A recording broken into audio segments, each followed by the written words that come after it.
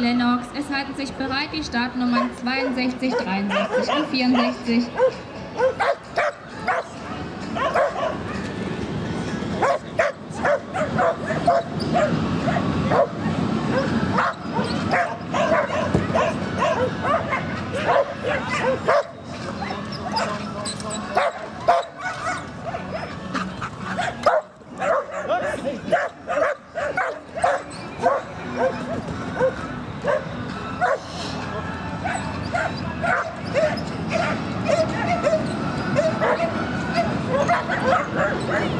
Auch hier ein schöner fehlerfreier Lauf in einer Zeit von 32,78.